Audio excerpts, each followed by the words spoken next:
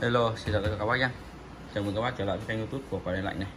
Thì hôm nay em lên cho các bác là một cặp à, nồi áp suất mà 6 lít nha các bác nhé. À, Đây các bác này. Em này dung tích là 6 lít này các bác này. Đấy, dung tích là 6 lít nhé. Đấy. Hàng của hàng Nhật nhé. Đấy. Em này là đầu đồng hai đáy này các bác. Hai em đều mới này. Mới hai đồng hai đáy luôn. Ôi trời, và một mặt kính nhất tình thì quang đó, các bác nhá. Em này hai con này rất là, còn rất là mới. Đấy đấy đây, mới này. Bây giờ là em à, nội thất này. Đây nhá, em quay các bác xem bên trong còn mới tinh. Đấy trong còn mới tinh thôi nhá.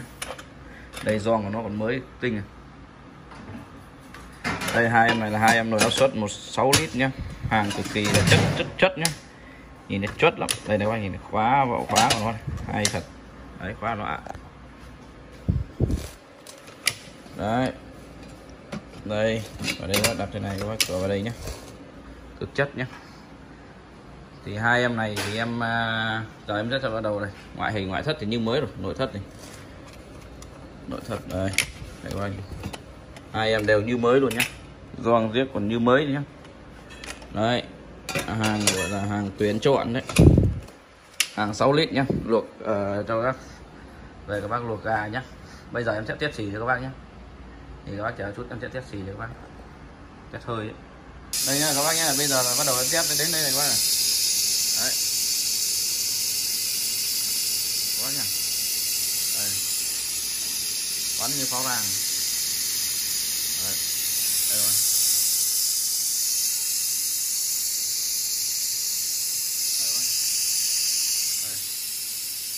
Đây là trong một cái chuyện kia đây các bác xem. Đây nó bắn đấy đấy Đấy.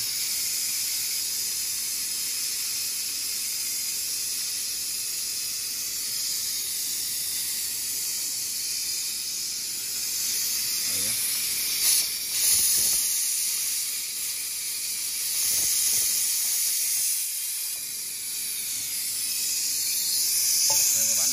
Đấy coi. Rất ok chưa bác? Quá ok luôn nhé. Thì hai em này em bán cho các bác ờ, 6 lít nhá. 6 lít là loại to nha các bác nhá.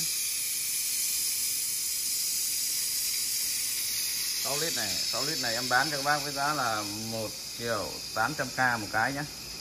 Để bác nào chuyển khoản bao ship này. 6 lít một cái, 6 lít nhá. Đây là hàng này hàng 6 lít các bác nhá. Hàng cực là to, hàng là to nhất gần đây là hàng rất là, là to rồi. Cho bác về các bác ờ, nơ luộc nấu cho gia đình nhiều nhiều người nhé đấy. Đây, bạn nào thích thì liên hệ trực tiếp qua số điện thoại 0962 396 383 hoặc 0983 329 755 nhé Cảm ơn các bác đã theo dõi video. Chào tạm biệt các bác.